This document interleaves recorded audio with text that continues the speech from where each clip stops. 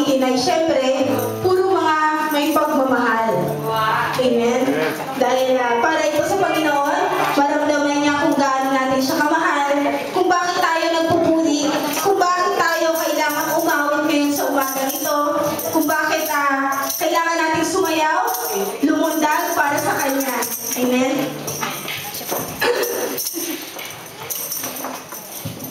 Lerasing ikaw, Panginoon, kasunod po nito ay mahal na mahal kita at salamat, salamat sa pag-ibig mo, Panginoon. Amen.